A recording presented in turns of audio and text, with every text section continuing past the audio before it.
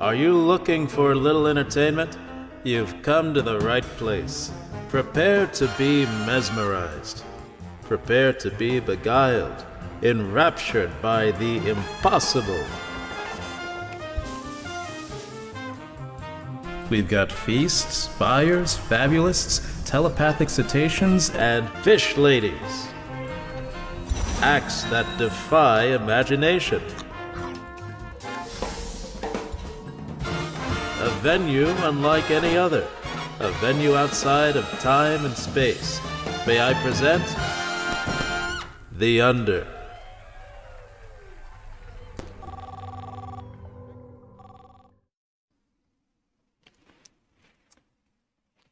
Nu, pat kā bijām virtuālajā realitātē un redzējām, ka tur var gan uh, piedalīties teātris izrādē, būt klāt, gan arī um, mācīties dažādas profesijas.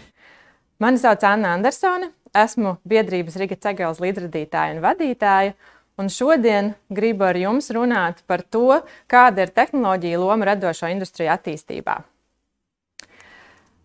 Vispirms par to mazliet, kas ir Riga Cegels. Riga Cegels ir nevalstiska organizācija, kuras mērķis ir atbalstīt un iedvesmot sievietes un meitenes mācīties vairāk par tehnoloģiju lomu un jomu. Um, bet mēs strādājam ne tikai ar meitenēm un sievietēm, mēs strādājam patiesībā ar visiem. Digitālās prasmes un spēja strādāt ar tehnoloģijām ir svarīga ikdienas sastāvdaļa katram no mums. Un īpaši tas būs svarīgi nākamajām paudzēm un tuvākajos gados, kad pilnībā mainīsies ļoti daudz profesiju un lomu um, specifika, un mums būs jāizmanto tehnoloģijas ikdienā visā, ko mēs darām. Mēs iestājāmies par dažādību, par to, ka ikvienam no mums ir jāpiedalās, lai process uh, attīstītos un lai mēs sasniegtu labākus rezultātus. Un mēs iestājāmies arī par līdzvērtīgām iespējām. Tas nozīmē, ka um, gan jauniem, gan pieredzējušiem cilvēkiem, um, gan tiem, kas runā latviešu valodā, gan citās valodās, gan tiem, kas uh, sevi identificē ar kādu noteiktu dzimumu, visiem ir jābūt līdzvērtīgām iespējām, un uh, mēs pie tā arī strādājam. Un tehnoloģijas tās patiesībā pašas nediskriminē. Tās ļauj ikvienam attīstīt sevi un uh, izmantot šo, šo te tehnoloģiju iespējas. Um, tas, ko mēs cenšamies panākt ar uh, šīm apmācībām un kāpēc mēs strādājam ar tehnoloģijām, tāpēc, ka mēs zinām, ka patiesībā Latvijā uh, un Baltijā Tehnoloģijas ir attīstītas, mums ir attīstīta infrastruktūra. Mums ir uh, labs internets jau daudzus gadus, un, protams, ka mūsu iedzīvotāji ir iemācījušies to izmantot un ir veiksmīgi tehnoloģiju patērētāji. Bet kas ir svarīgi? Ir svarīgi, ka mēs tehnoloģijas arī radām, jo nākotnē konkurētspējīgi būs tie, kas tehnoloģijas prot izmantot, lai radītu lietas. Un tas ir tas, ko mēs ar Riga Cekels arī gribam darīt, un ko es šodien gribu iedvesmot tik vienu no jums, ir um, domāt par to, kā tehnoloģijas mēs varam izmantot, lai radītu. Ļoti atbilstoši Radi akadēmijai. Un, ja mēs paraugāmies uz to, kā cilvēki pasaulē izmanto interneta vidi, tad ar vien vairāk laika tiek pavadīts dažādos veidos, patērējot dažādus ražo, radošus risinājumus. Un šeit mēs varam redzēt izaugsmas rādītājus. Tātad um, gan sociālajā mēdī, protams, pieaug, ko mēs varam novērot, gan arī um, jaunumu ziņu patērēšana gan arī dažādas, eh, dažāda radoša satura patērēšana, un tā, tā skaitā arī televīzija un spēles. Um, bet kā tad tehnoloģijas tiek izmantotas radošos risinājumos? Un tagad gribu padalīties ar dažiem iedvesmojošiem piemēriem, kas arī man pašu iedvesmo, kad es vien par to iedomājos.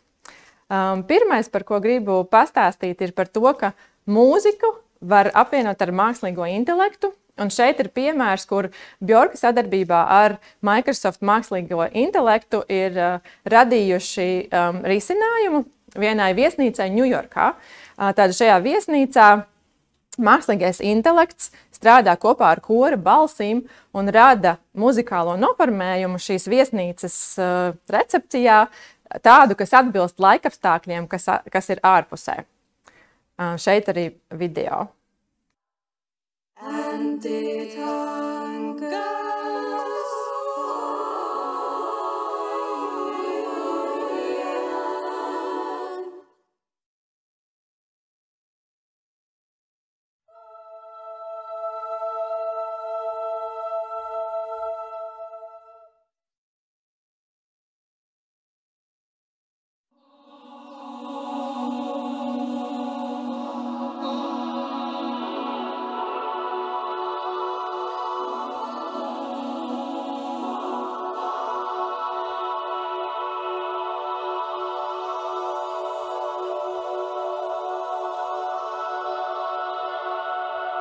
Tātad mākslīgais intelekts šeit mācās, seko līdzi tam, kā attīstās dažādi notikumi ārpusē. Piemēram, kad atlido pavasarī putni uz Ņujorku, tad viss pielāgojas. Uzlecot saulē, mainās skaņa, norietot. Un ar katru reizi, kad šis mākslīgais intelekts attīsta šo muzikālo noformējumu, tas mainās un kļūst uh, vēl interesantāks. Um, Nākamais piemērs, ko gribu parādīt, ir par to, kā ar gaismu choreogrāfiju var palīdzēt augt ražai ilgspējīgāk. Um, tātad šeit uh, zinātnieki kopā ar dažādiem radošiem profesionāļiem ir radījuši risinājumu, kas palīdz izmantot mazāk pesticīdus um, un ātrāk augt ražai vienkārši ar šo gaismas palīdzību. And how? Can light help crops to grow more sustainably?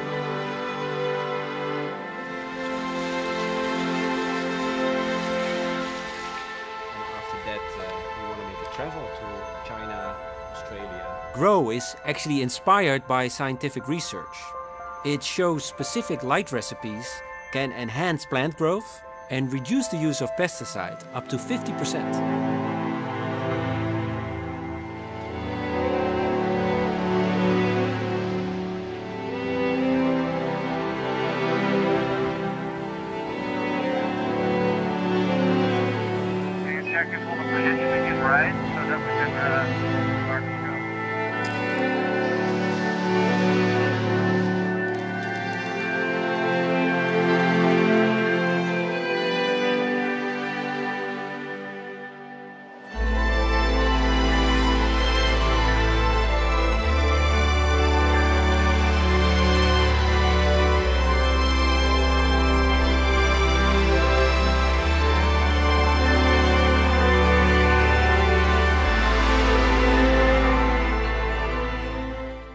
Tātad zinātnieki ir atklājuši to, ka ar dažādiem šiem gaismas spektriem var ietekmēt to, kā augi attīstās. Un to patiesībā var izmantot arī, piemēram, lauksaimniecībā. Um, es esmu sastapusi jau diezgan daudz uh, piemērus, kur, piemēram, droni tiek izmantoti, lai radītu masīvus, liela mēroga gaismu šovus, piemēram, kas varētu aizstāt uh, salūtu, kas ir diezgan dabai kaitīgs un neilgspējīgs risinājums. Uh, bet šajā, risina, šajā gadījumā mēs varam sasniegt līdzīgu efektu, izmantojot uh, materiālus un izmantojot um, ierīces, kuras ilgstoši var kalpot. Un šeit viens no Guinness rekordiem. Uh, Šovs, kurā piedalījās visvairāk dronu pasaulē, kas tika organizēts Ķīnā.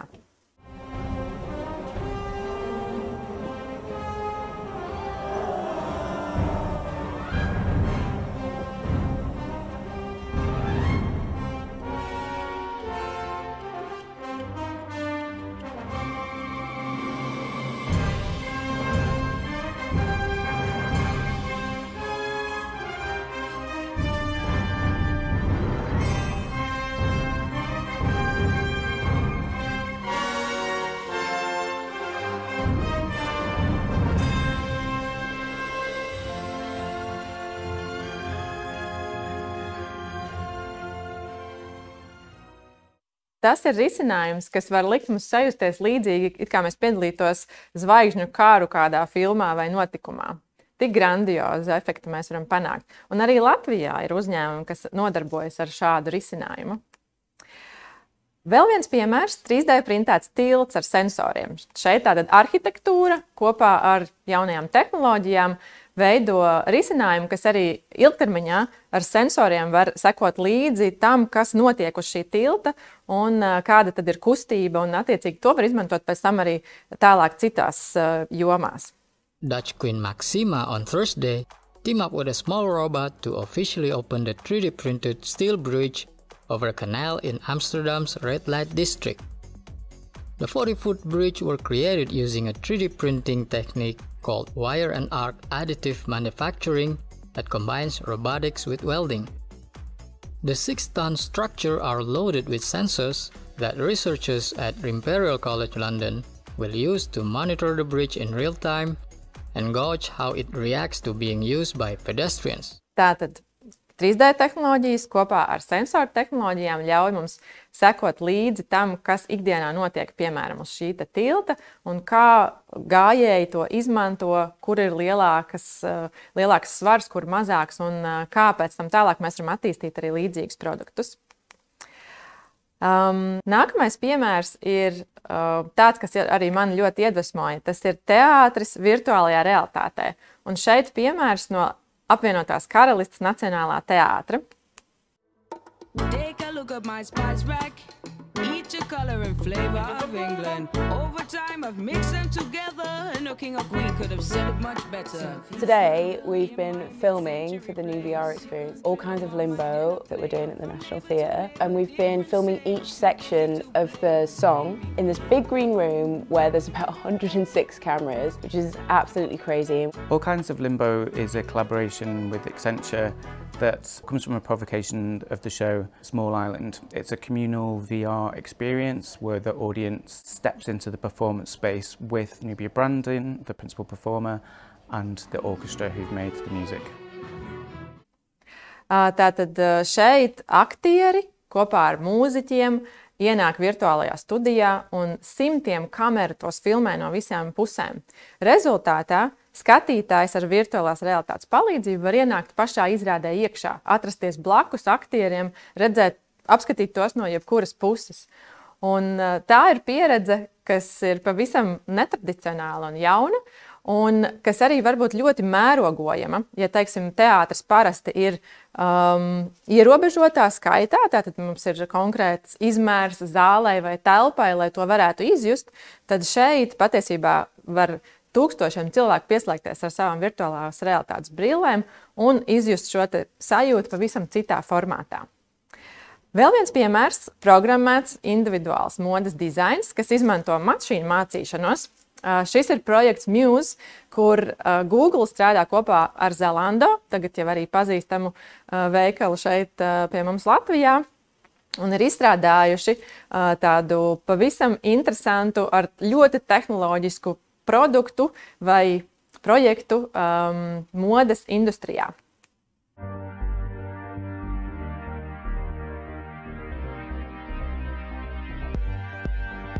This is Project News, an experiment by Zalando and Google, exploring how machine learning can create one-of-a-kind fashion designs inspired by the individuals who wear them.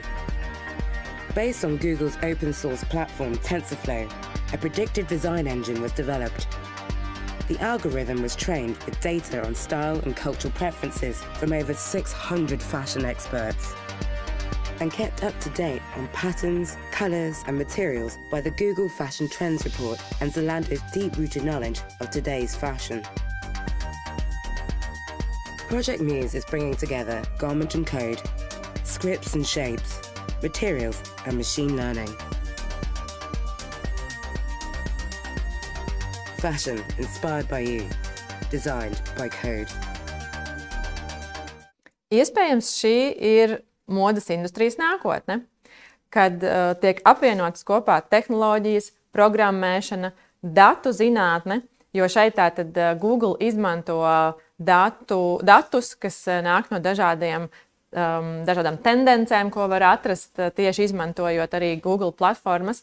Um, un strādājot kopā ar profesionāļiem, modes dizaineriem, tiek radīts kaut kas pilnīgi unikāls. Un šis kods ir algoritmu sistēma, kas uh, risinājumus salāgo ar to, kādas ir prognozes par nākotni, par materiāliem, par krāsām, ar to, ko saka profesionāļi un ko patiesībā meklē un uh, par ko interesējas pats cilvēks.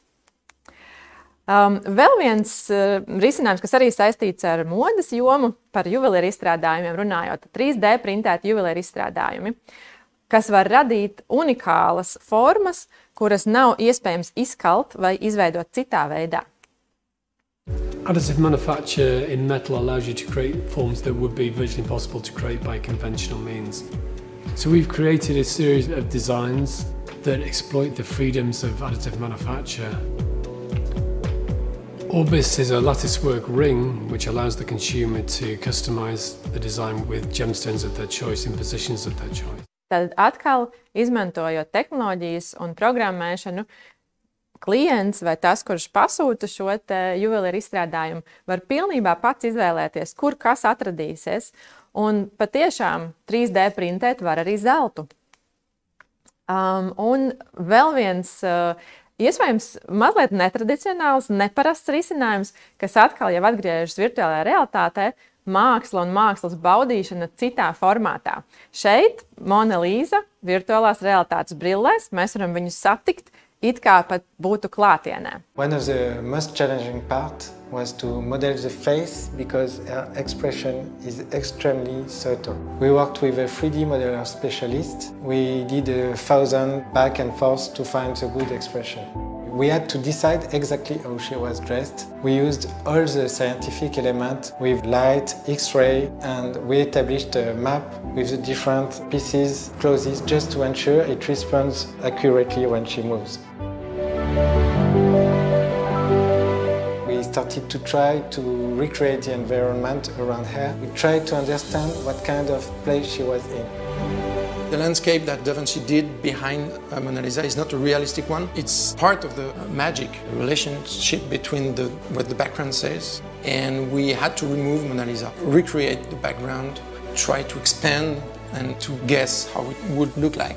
Tātad šeit atkal mākslas profesionāļi, eksperti dažādās um, arī izpētes tehnoloģijās un strādā kopā ar tehnoloģiju ekspertiem, ar 3D dizaineriem, ar animatoriem, lai radītu maksimāli realistisku un uh, arī mākslas darbam atbilstošu risinājumu, kurā mēs varam it kā atrasties kopā ar Monu Līsu tajā brīdī, kad viņa tika gleznota. Un tas paver uh, daudz dažādas interesantas uh, iespējas un arī jautājumus par to, kas ir patiesībā, kur tad Mona Līza atradās, kā, kā, kāda bija tā vide un kā mēs varam šo vidu, vidi um, atjaunot plašākā mērogā. Nu, lūk, um, tas, ko mēs varam redzēt, apskatot šos dažādos pasaules piemērus un zinot, ka arī Latvijā tiek attīstītas tehnoloģijas līdzīgās jomās, ir, mēs varam redzēt to, ka tehnoloģijas palīdz mērogot idejas. Mēs varam sasniegt plašāku auditoriju, mēs ejam pāri tām robežām, gan iedomātajām, gan fiziskajām, gan arī valstu robežām, izmantojot tehnoloģijas, mēs to visu varam izdarīt daudz, daudz lielākā mērogā. Tas ir, manuprāt, arī viens no um, vērtīgākajiem iemesliem, kādēļ tehnoloģijas vajadzētu izmantot. Bet, protams, arī uh, tas, ka tās var attīstīt radošo li lidojumu pavisam citā uh, di dimensijā, tas arī ir patiesi. Un tāpēc mēs Riga Cegels aicinām apgūt tehnoloģijas un izmantot to plašās iespējas. Aicinām sadarboties arī ar mums, sekojiet līdzi Riga Cegels bezmaksas apmācībām un iedvesmas vakariem un darbnīcām, un nākamajā gadā plānojam arī pavisam specializētu apmācību programmu tieši par radošajām industrijām. Paldies! Mani sauc Anna Andersone, esmu no Riga Cegels biedrības un aicinu mūs tikties gan klātienē, gan virtuālajā vidē. Atā!